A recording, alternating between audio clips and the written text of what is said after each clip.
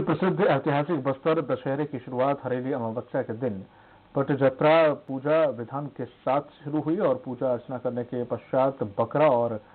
मोगरी मछली की बलि देकर माई को प्रसाद चढ़ाया गया। और साथ ही साथ परंपरा अनुसार विशेष गाँव बिल्लोरी के ग्रामीण साल की लकड़ी लेकर जगदलपुर पहुँचे और दरअसल इस लकड़ी से रथ बनाने के बड़े बड़े हथौड़े और चक्के का निर्माण किया जाता है।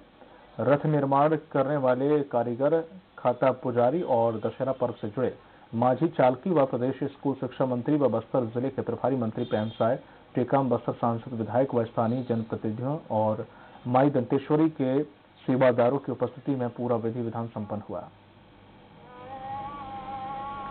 आज से स्टार्ट होने के बाद जो है यहाँ के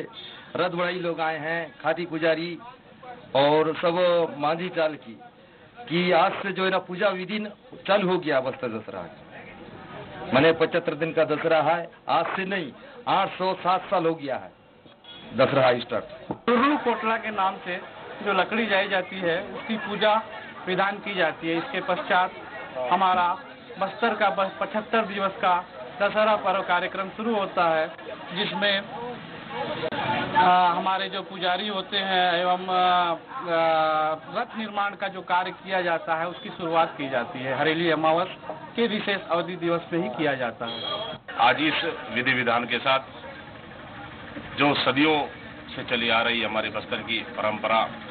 पचहत्तर दिनों की दशहरा आज से प्रारंभ होगी। निश्चित रूप से हमारे बस्तर वासियों के लिए खुशहाली एवं समृद्धि का त्यौहार है और मुझे उम्मीद है कि माता के आशीर्वाद से पचहत्तर दिनों का दशहरा अच्छे से संपन्न होगा।